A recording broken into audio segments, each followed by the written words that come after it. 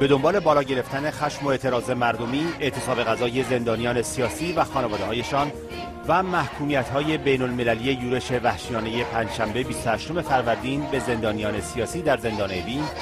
رژیم به یک فقره عقب نشینی دست زد و اسماعیلی رئیس جنایتکار سازمان زندانها را برکنار کرد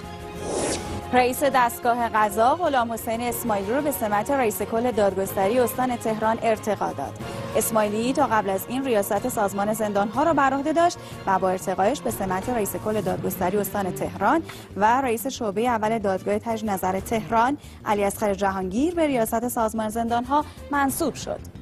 رئیس معزول سازمان زندانهای رژیم مدعی شد مقدمات رفتن او از سازمان زندانها از چهار ماه پیش مشخص شده بود اما این دشخیم نگفت که چرا درست بلافاصله بعد از حادثه بند 350 اوین از این کار برکنار شده است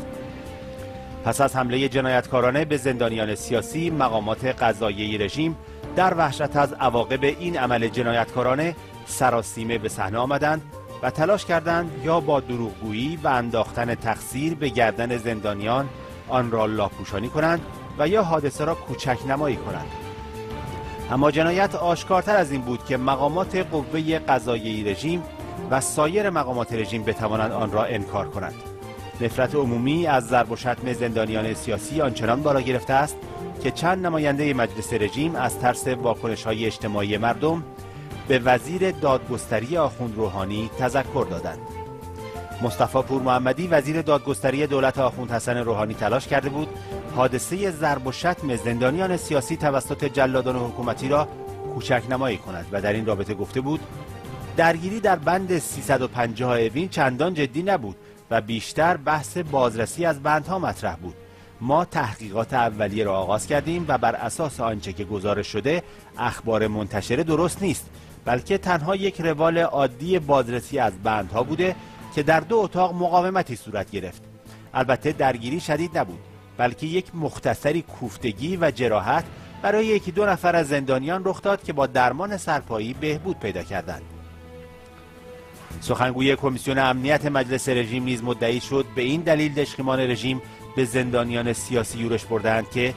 یک سری مطالب کذب و دروغ از داخل زندان به برخی افراد معاند مانند احمد شهید گزارشگر دروغگوی سازمان ملل در امور حقوق بشر ایران و رسانه های بیگانه داده می‌شد. از این رو بررسی و بازرسی بسیار بیشتر لازم و ضروری بود این اقدام برای افزایش امنیت زندانی ها و حفظ امنیت محیط زندان است تا حادثه ای در این مراکز رخ ندهد. به رغم برکنار شدن رئیس سازمان زندان ها پایداری زندانیان و خانواده های آنان ادامه دارد و موجی از حمایت های اجتماعی را برانگیخته است. دوازده تن از زندانیان سیاسی زندان گوهردشت کرج در پشتیبانی و همبستگی با زندانیان سیاسی بند 350 اوین اعتصاب غذا کردند.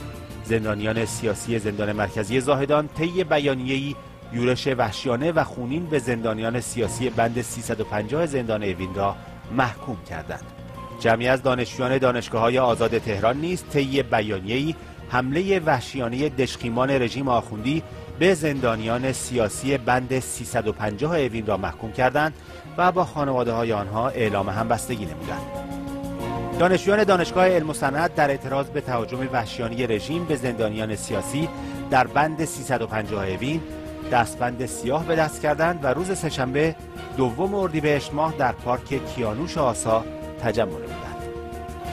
مقاومت و پایداری زندانیان سیاسی در برابر تمامیت ارتجاع هارا آخوندی نمادی از مقاومت عادلانه مردم ایران است که عزم جزم دارد این رژیم صفاک را